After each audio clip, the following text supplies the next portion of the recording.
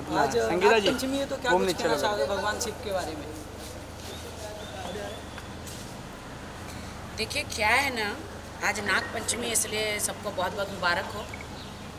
मैंने एक पैंतीस रुपए का थोड़ा पैप यू नो प्रसाद चढ़ाया था और भगवान से मांगा था कि अच्छा बॉयफ्रेंड अच्छे दोस्त मिले।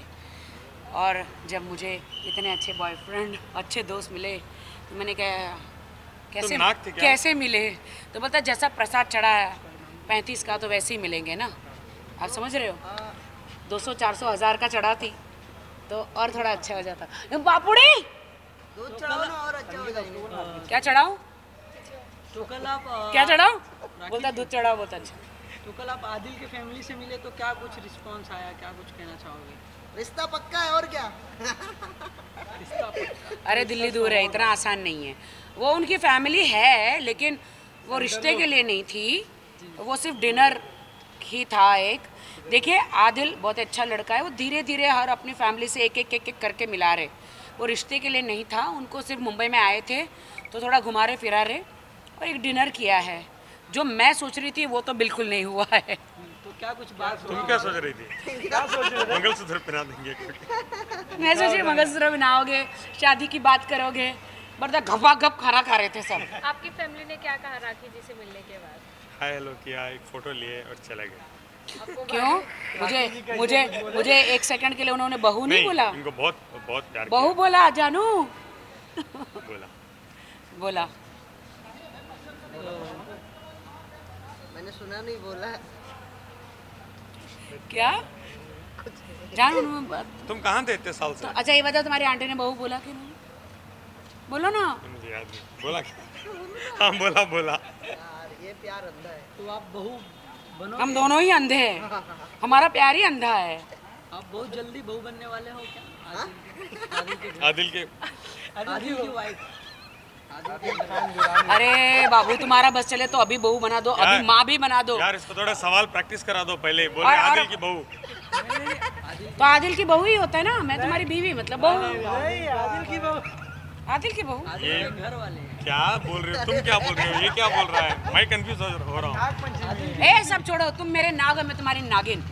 चलो नाचते हैं। एक दूसरे को अरे वैसा गंदा थोड़ी है नाग ऐसे ही करता है।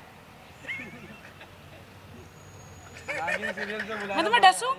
पापा मैं तुम्हें डसूं? पापा मैं तुम्हें डसूं? रोज दस्ती तो रहती हो। कि तो रोज डसी रहती हो। ओके जैसे कि आमिर और तुम रोज चूसते रहते हो। मेरा खून। खून। हाँ? हाँ। यार ये बड़ा चट छोटू बहुत गंदा है भाई। बहुत गंदा है देखो कुछ तो, भी बोलता तो है। सात आठ साल से कहीं था पता भी नहीं अभी आ गया है। बहुत गंदा तो बोलता है। जी। जैसे कि आमिर खान की मूवी को लाल चड्ढा को लोग ब्लॉक मतलब रिलीज़ नहीं होने क्यों? क्या किया? ट्रेंडिंग चल रहा है सोशल मीडिया क्यों? रीजन क्या है? वो लंबी दाढ़ी बढ़ा दी है और आमिर आमिर नहीं दिख रही इसलिए। पता नहीं पर ऑडियंस मतलब कुछ लोग हैं जो कि चाहते हैं कि सिनेमा घरों में ना आए ये मूवी रीजन क्या है? रीजन तो बताओ भाई। आमिर खान को डर लग रहा है कि मूवी चले नहीं चले।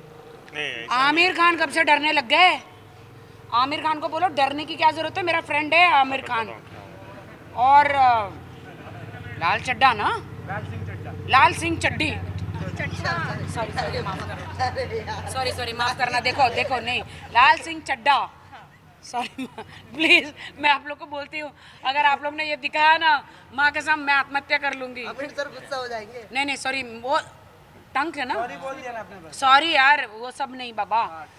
लाल सिंह चड्डा ये कोई थे क्या?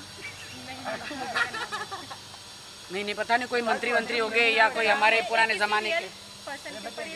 रियल पर्सन के ऊपर है। देखो मुझे मालूम नहीं है। है मुझे मोदी जी के बारे में बोलो तो मुझे मालूम है। है ना? मुझे मोदी जी के बारे में बोलो तो मुझे मालूम है। और मैं और मैं और उनको और किसी को जानती है। बापू के बारे में मालूम है। वल्लभ भाई पटेल जी के बारे में मालूम है।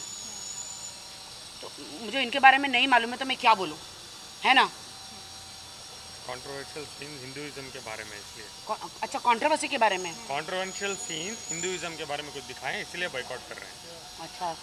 नहीं आमिर खान तो एक ब्रेव है। आमिर खान किसी से डरते नहीं है। उनकी फ़िल्में तो डेफिनेटली रिलीज़ होती है भाई।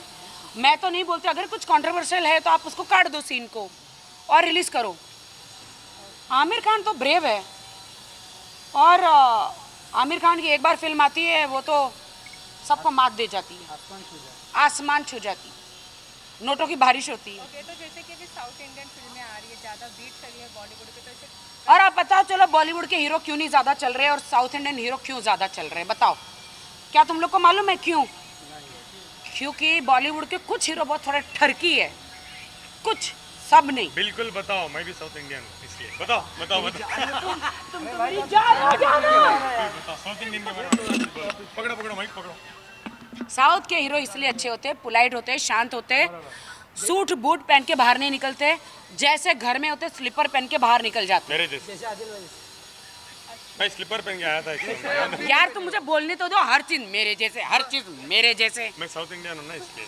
हाँ तुम तो मेरी जान हो मेरा मैं भी चप्पल पहन के घूमता हूँ। तुम तो मेरे दिल की धड़कन हो पापा मेरी जान।